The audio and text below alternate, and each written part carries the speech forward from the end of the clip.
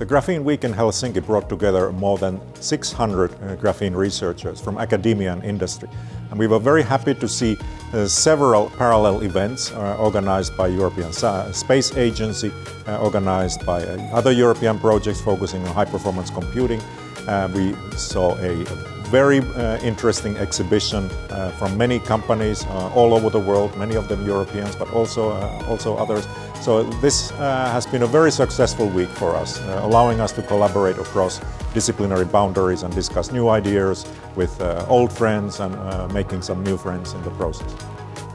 So this week at the Graphene Week we have a, a greater focus on applications. So we also coupled the conference with an exhibition and uh, we have uh, exhibitors uh, from uh, large companies, small companies, organizations and uh, projects.